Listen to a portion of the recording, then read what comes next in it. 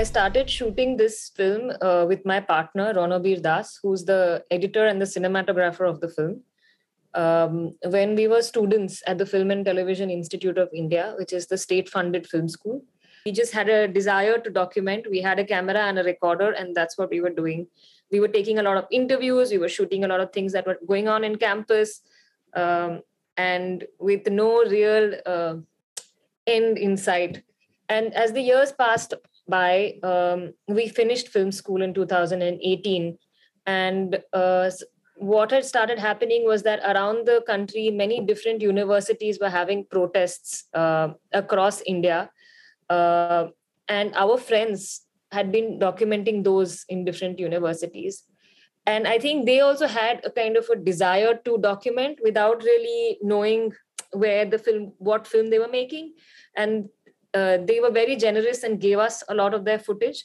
So we collected footage from various different universities that our friends had been there. And then we shot some more, and then we started getting a sense of what this film could possibly be. Uh, by the end of the time that we collected all this footage, it became like an archive of memories of five years and almost started feeling like a found footage film. We decided that uh, we could come up with this um, with this uh, narrative of the love letters to uh, to be able to talk about all this five long years of things that we had collected. And actually initially when we had started shooting on our campus we had done a lot of interviews with our friends. And inevitably people talked about love. Because you know when you're at that age uh, these questions of love always are there in your mind. And in india especially love is very political.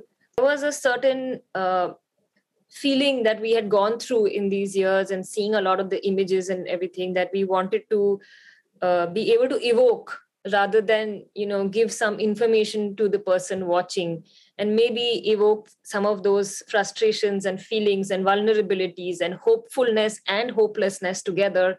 I have benefited a lot because of public university system my mother my sister and you know it's it's it, without these spaces we uh, it would have been difficult for many generation of people to uh, to have education. And public universities were designed in a way to uh, to be modern you know to bridge some of these uh, inequalities that are so inherent to our culture whether it is uh, class or caste differences.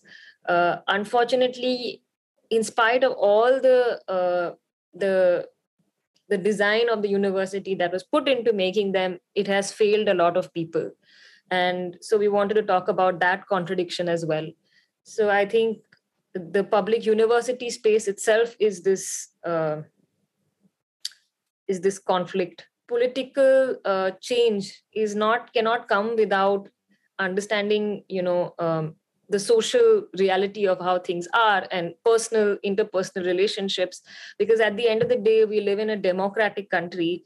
People are elected into power. So we need to understand how this has happened and why certain choices are being made by people. The film school itself was a kind of a character in the film in the beginning you know the whole campus space and everything it's uh, it's a very important part. And if you and since in our film school we did have access to a lot of cinema and we did talk about cinema a lot uh, and cinema has kind of helped a lot of us arrive at our political understanding as well. Even the kind of texture of the film and what we were trying to evoke this sort of timelessness and this 16 mm kind of uh, image came from a lot of uh, films that we had seen, say, like the French New Wave films, or uh, we had access to a lot of uh, East European films. I'm, I'm somebody who loves process, so this really worked well for me. Uh, and I really enjoyed doing all the different workshops and, you know, uh, stages of the uh, of of the editing and rough cut and all those things because this is the kind of film that was made on the editing table right like we were shooting and editing at the same time writing and editing at the same time so you know it's it's um, you need some markers to help you find the form. I think that when you uh, well, have to stop in the middle of your process and present it to somebody already you know there are certain gaps in uh, in your material that you begin to recognize for yourself which earlier you might have been taken for granted.